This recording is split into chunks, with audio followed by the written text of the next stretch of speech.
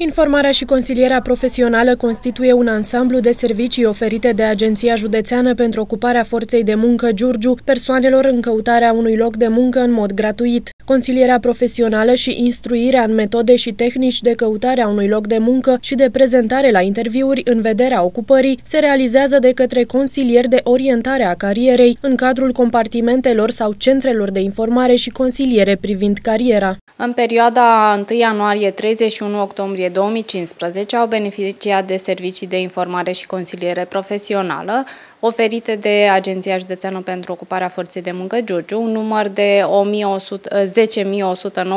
10.193 de persoane aflate în căutarea unui loc de muncă.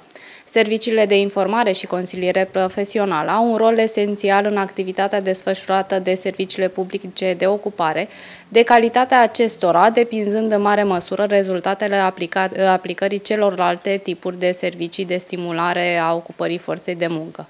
Numărul total al persoanelor înregistrate în evidența AJOFM Giurgiu la data de 31 octombrie a fost de 6.101 persoane în căutarea unui loc de muncă, dintre care 2.920 sunt femei. Valoarea ratei șomajului recalculată înregistrată la nivelul județului Giurgiu la sfârșitul lunii octombrie a fost de 6,55%.